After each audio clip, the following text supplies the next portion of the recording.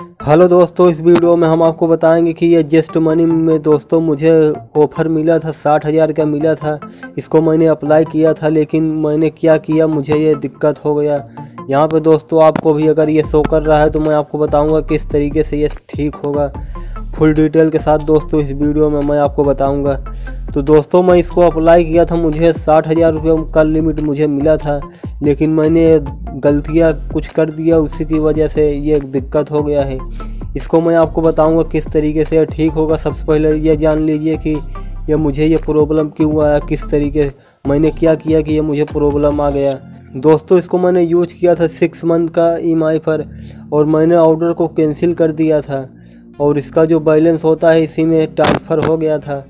लेकिन ट्रांसफ़र तो हो गया था, लेकिन मैं फिर यहाँ से गिफ्ट कार्ड यूज़ करने के लिए मैंने सोचा गिफ्ट कार्ड फ्लिपकार्ट में पे कर लेता हूँ। इसी के ज़रिए से चालीस हज़ार का मैंने नौ मंथ के लिए पेमेंट कर गिफ्ट कार्ड का चालीस हज़ार का उसमें ट्रांसफ़र कर रहा था। फ्लिपकार्ट गिफ्ट कार्ड जो होता है, इसके थ्रू तो दोस्तों, उसी के बीच में एक एरर आ गया। उसी के बाद ये ऑप्शन मुझे आ गया, ये प्रॉब्लम मुझे आ गया। दोस्तों, उसके बाद मैंने कस्टमर केयर से बात किया कि ये प्रॉब्लम क्या है, इसके बारे में मैंने बताया। तो उन लोगों ने बोला कि आपका ये जो यहाँ पे ये है अप्लीकेशन जो है वो 90 डेज़ के बाद आप लोग इसको इसको आप दोबारा से लॉगिन करेंगे। मैंने उनसे पूछा था कि इससे पहले हो जाएगा कि नहीं।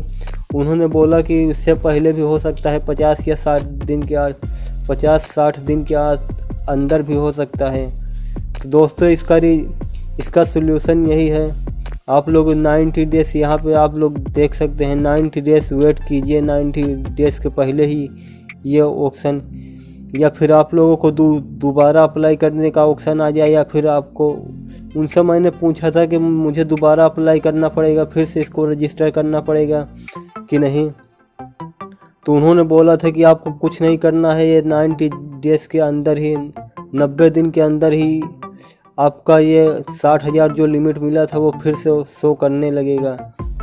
कस्टमर केयर यही मुझे बताए थे। तो दोस्तों, अगर आपको और भी अगर कुछ इसके बारे में और भी अगर कुछ पूछना है, ज़रूर पूछिएगा कमेंट बॉक्स में। बाकी उन्होंने जो मुझे बोला था वो मैंने आपको बता दिया है। ये किस तरीके से एक्टिवेट हो जाएगा। उन्होंने बोला था कि आपको दोबारा अप्लाई नहीं करना पड़ेगा। ये अपने आप ही साठ हज़ार का जितना लिमिट मिला था, उतना ही शो कर दिया जाएगा।